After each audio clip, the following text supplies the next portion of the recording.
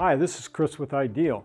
In this particular video, we're going to show you how to use the Ideal SureTrace Plus with the built-in continuity test to identify the location of a short circuit in a lighting fixture. If you want to follow along, just download the BILT app for step-by-step -step instructions. It's free, easy to use, and utilizes 3D animation to give you a comprehensive guide. So the first thing we're going to do is identify the shorted condition.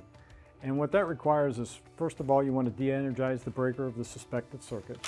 You're going to pull the uh, conductors off. Then you're going to attach the alligator clips to those conductors.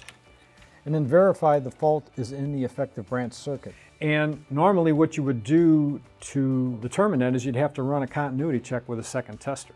But what we've done with the, uh, the Pro and the uh, Plus versions of our transmitters is we've, we've added a built-in continuity test.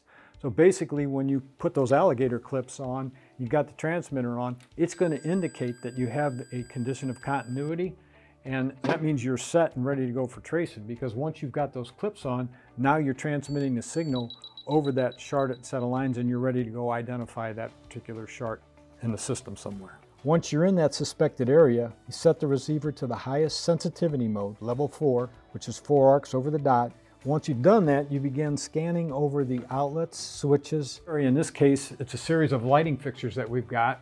The location with the short will provide the highest reading in the scan path. Also, when searching for a dead short in interconnecting conduit, it may be difficult to trace through metal conduit. In these cases, simply trace over the outlets in a circuit. The outlet where the reading starts to drop means the short is between that outlet and the previous traced outlet. Finally, when searching for a dead short in PVC, conduit, or underground, hold the receiver over the conduit or ground and trace along until you get the highest reading. This is the location of the short. If you pass the short, the reading will noticeably drop.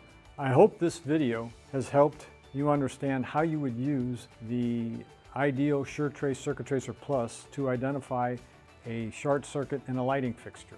For more information, you can look at idealind.com and you can download the BILT app.